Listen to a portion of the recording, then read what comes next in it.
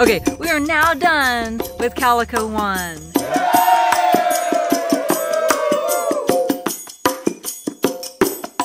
We're done again. Done again. We looked it up and we found something else.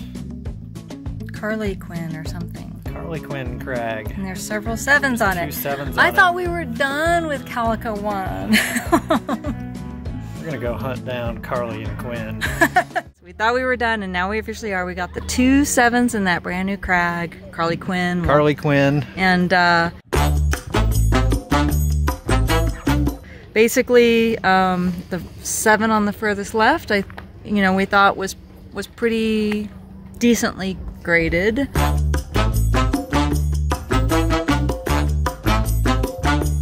Uh, there is a little roof, but you can, you know, step Yeah. around it. Most of the Um, climb, I, on, step, I thought it was step like up it. I thought it was like five five, except for that that That move. roof, yeah, it's sort of like an average there. But the second five seven, I, I, I guess I get to call it. I would kind of give that a what the fuck. Um, or what the feisty with the feisty, but I mean You the fuck part. No, but it just kind of it's it is that because um, it's misleading. It's not a Sport 57.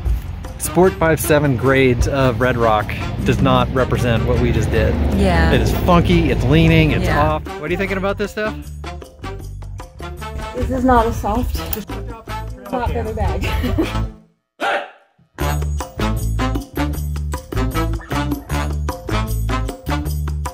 Um, everybody that was in the group, we had the big group with us, and everybody was like, "Yeah, no, that's not a five seven. It's at least a nine.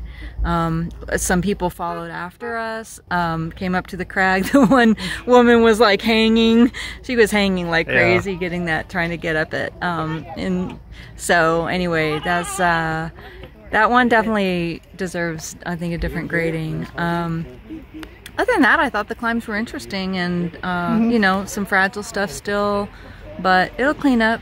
The 10A there is fun. Yeah. That was fun. So, Yeah. anyway, we're done. We're done. Woohoo!